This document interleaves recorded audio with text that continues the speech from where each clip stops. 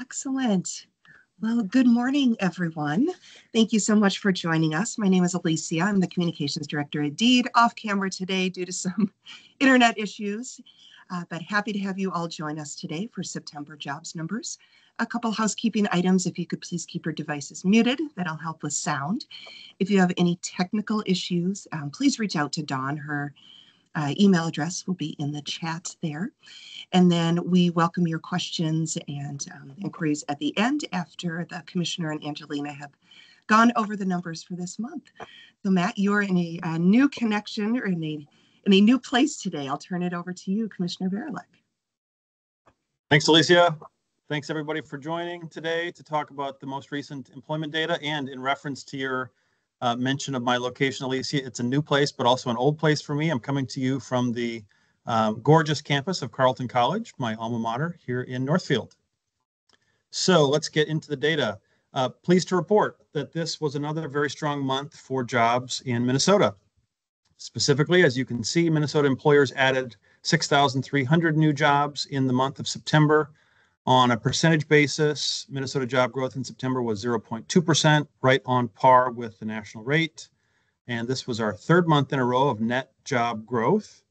And then if you look over the annual time scale, we've had net growth in nine out of the last 12 months. In percentage terms, our over the year growth is 1.3%, and that is just slightly off the national pace of 1.5%. Our strong wage growth continued this month as well, with wages growing faster for Minnesota workers than they did in the nation as a whole, and more than uh, twice as fast as inflation grew. Specifically, the average private sector hourly wage is now $38 on the nose in Minnesota, uh, and that's an increase of 4.9% over the year. Nationally, wage growth was 4.6%. And then for comparison to inflation, using the CPI, the Consumer Price Index, common measure of inflation. Um, that rose 2.4%. So again, a good comparison to the uh, 4.9% wage growth. And so this is good news for a variety of reasons, including the fact that now consumers have greater purchasing power. Also, the fact that inflation is getting close to the Fed's target means they have felt latitude to begin lowering interest rates, which we saw recently, and that will have a stimulating effect on the economy. Moving on to the unemployment rate, we ticked up 0.1% over the month, landing at a current rate of 3.4%. That remains very low, however, and is below the national unemployment rate of 4.1%. And then on to the size of the labor force, we were essentially flat over the month with a net increase of 620, but against the total size of the labor force in the neighborhood of 3 million, uh, 620 is, is basically flat, like we said. And as we've also said in previous months, our labor force does need growth in order to power more hiring and thus overall economic growth. And so this remains an area of focus for DEED, which we will touch on uh, in more detail in a moment. But overall, very strong jobs report with some great news in it.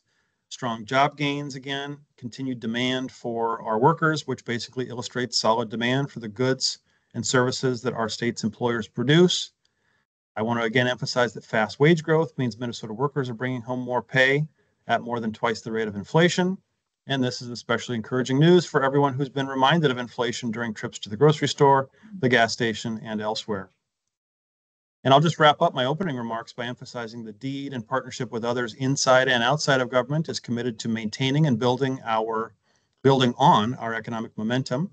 And some of the ways we do that include focusing on high growth sectors, and by increasing the number of workers qualified to work in high demand, high pay jobs.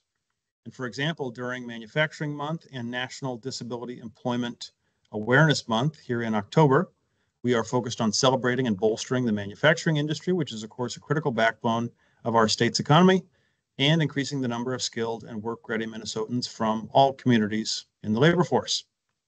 So, with that, I'll hand things off to Labor Market Information Director Angelina Nguyen for a deeper dive on the details of this month's report. Over to you, Angelina. Thank you, Commissioner Varilek. Good morning, everyone. I'm going to go over job details by super sector now. So first looking at over the month uh, job change. So four super sectors in Minnesota gained jobs uh, on a seasonally adjusted basis. Three saw no change and four super sectors lost jobs. So I'm going to start with the gainers in the order of number of jobs uh, gained. So government led with 3,600 jobs, up 0.8%. Next is professional and business services. Uh, they gained 2,300 jobs, up 0.6%. Uh, following that, education and health services gained 1,600 jobs, up 0.3%. And lastly, trade, transportation, and utilities gained 1,200 jobs, up 0.2%. So those are our gainers. Uh, the super sectors that did not saw any change over the month were mining and logging, construction, and leisure and hospitality. And the four super sectors that lost jobs over the month um, in the order of number of jobs lost. So financial activities uh, lost the most, uh, 700 jobs, down 0.4%.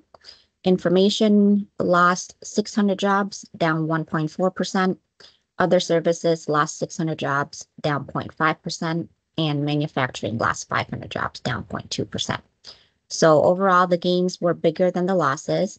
So in total, Minnesota gained 6,300 jobs in the last month, um, seasonally adjusted, and that translates to a 0.2% growth rate, as the Commissioner Varilek had mentioned. Um, our private sector gained 2,700 jobs, uh, up 0.1%. The prior month's report uh, uh, for August, uh, seasonally adjusted job growth was revised down um, 2,400 jobs. So the final estimate is we gained, uh, Minnesota gained 12,000 jobs between July and August, rather than the originally reported 14,400 jobs. Next, we're going to look at the labor force. Uh, our labor force size uh, grew a tiny, tiny bit, uh, 620 people over the month. Um, but as uh, the commissioner has mentioned, in the context of uh, almost 3.1 million in the labor force, that is a, um, a tiny change. Um, the number over the month, the number of employed uh, decreased by about 1,700 people, and the number of unemployed increased by about 2,300 people. Uh, so, so in the long terms, coming out of the pandemic, our labor force is still about 37,200 uh, people smaller than it was uh, pre-pandemic. Our labor force participation rate stayed uh, at 67.7% for the third month in a row now. And um, overall, it has hovered around 68% for years um, since uh, we recovered from the pandemic. And then uh, next, I'm going to look at uh, job change by super sector over the year. Um, so over the year, Minnesota's growth rate is still steady. Um, we gained more than 37,500 uh, jobs, uh, which is a 1.3% growth rate. Uh, for comparison, the U.S. Uh, over the year growth rate was 1.5%. Our uh, private sector gained more than 16,000 jobs, up 0.6%. The US private sector grew 1.4%. So uh, looking at super sector, five super sectors posted positive annual growth for Minnesota, and six uh, super sectors uh, posted negative uh, change uh, over the year in Minnesota. So I'm going to start with the gainers, again, in the order of number of jobs gained. Uh, education and health services uh, gain more than 35,300 jobs. So that's a 6.2% growth rate for Minnesota, um, outpacing the national rate of 3.8%. Uh, and growth was especially strong in healthcare and social assistance subsector, uh, which uh, we saw 7% growth rate. And it was uh, positive, but more incremental change in the education services subsector, which grew 0.5%. The next super sector that gained jobs is uh, was government, uh, gained almost 21,500 jobs, up 5.1%. And that's more than twice the uh, US uh, growth rate of 2.1% for, for the super sector. And growth was healthy across all subsectors, um, except for US Postal Service. Uh, we saw a decline there and uh, growth was strongest in local government, uh, excluding education. So we saw 8.5% growth in that uh, subsector. Next is trade, transportation, and utilities. Uh, they gained almost 4,000 jobs, up 0.7%, which is about a, a similar uh, rate as the US uh, of 0.6%. So retail trade grew 1.3%. Um, wholesale, wholesale trade declined 0.7%. and transportation, warehousing, and utilities grew uh, 1.1%. And then the next super sector is uh, leisure and hospitality. They gained almost 1,900 jobs, up 0.7%. And uh, most of subsectors here grew, um, except for arts, entertainment, and recreation, uh, which is a subsector that we saw a decline uh, of more than 7%. And then lastly, other services gained uh, almost 1,200 jobs, up 1%. And um, all subsectors posted growth uh, under other services, and it's uh, growing at a similar rate as the US um, at, of 1.1%. So those are our gainers. And then the 60 sectors that lost jobs over the year, I'm also going to go in the order of number of uh, jobs. So professional and business services lost uh, more than 10,800 jobs, down 2.8% for uh, in Minnesota, while the U.S. grew 0.4%.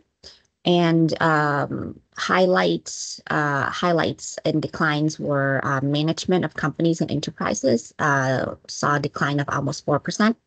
Employment services had a decline of 8.6%, and computer systems design and related services um, saw a decline of 2.3%. The next super sector um, that lost um, jobs were manufacturing, uh, lost almost 8,500 jobs, down 2.6%. And the decline was driven by durable goods manufacturing, um, which uh, declined 4.2% uh, while non-durable goods manufacturing uh, actually had a, a, slight growth of 0.2%. And uh, the U.S. manufacturing supersector also declined, but on a on a smaller um, a smaller scale. Financial activities is next. Uh, they lost almost 4,200 jobs over the year, so down 2.2%. And we saw losses in all subsectors here. Uh, nationally, uh, financial activities grew 0.4%. And then the next super sector is information. They lost more than 2,500 jobs, down 5.7% in Minnesota. And again, all subsectors saw decline uh, in Minnesota here. Um, the US also saw a slight decline in this uh, information supersector of 0.2%. And then construction, we saw a small loss of 133 jobs, which is a, a 0.1% decline. Um, and the decline was in specialty trade contractors, which declined 1%. Um, and then for comparison, the US construction supersector grew um, almost 3%. And then lastly, mining and logging lost 100, 121 jobs, down 1.8% in Minnesota. And uh, this supersector also saw a decline uh, nationally. All right. Uh, and then lastly, I'm going to talk about wages and inflation. So average hourly wages for all private sector workers increased 21 cents um, over the month for Minnesota. So now it's uh, $38 um, per hour. And over the year, average earnings um, increased by $1.79, which is uh, almost 5%. Um, and nationally for the US, um, private sector wages increased 49 cents over the month and grew 4.6% over the year. And then, uh, as the commissioner had mentioned, uh, inflation is 2.4%. Um, so we have seen consistent um, wage growth for both Minnesota and the US um, being uh, much higher than inflation for um, more than a year now. So that's good news. Um, and that's all I have. Commissioner, back to you. Very good. Thanks, Angelina. And so with that, I think we'd love to take any questions that folks may have.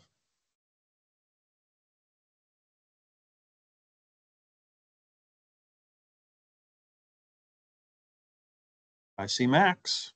Go ahead, Max. Hi, Commissioner and Angelina. Thank you for taking my question. I just wanted to zoom in a bit on um, manufacturing. We saw manufacturing down 2.6% um, over the year.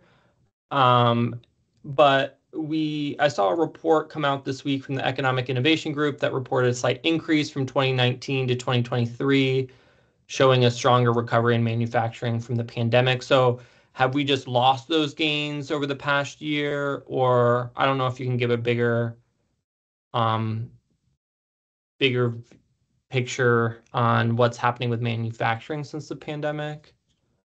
That is a great question. I would have to uh, do a, a spe- specified analysis and email you, Max. Is that all right?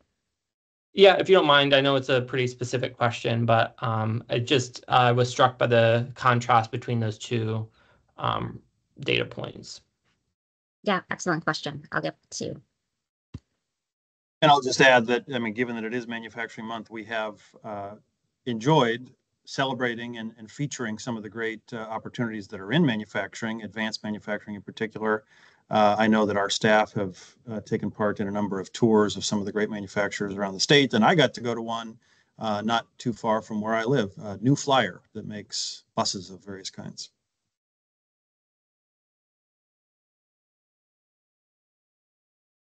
Thanks, Max. Anybody else have a question?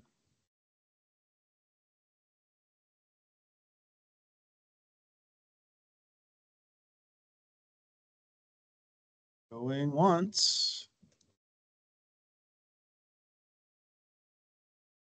Twice. Well, uh, we'll follow up on that one from Max, and then if anybody else thinks of one later, you're welcome to send it our way. But hearing none, if, if uh, nobody objects, maybe I'll just bring us to a close with a little recap. So uh, thanks again for everybody joining. And uh, to summarize some of the details that you just heard, again, we had net job growth in nine of the last 12 months, adding 6,300 specifically in September. And overall, we see the economy in Minnesota remaining in a very strong place as we push into the final quarter of the year. Uh, job growth that's positive, unemployment that's low, wages outpacing inflation, labor force participation among the highest rates in the nation. And then I'm also excited to note that businesses are expanding and choosing to locate in our state while our exports also surge. In fact, I would invite you to keep an eye out for some of our recent as well as upcoming announcements related to some large business expansions that DEED has been able to partner on. So with that, thanks everybody. Have a great rest of the day. So long. Bye.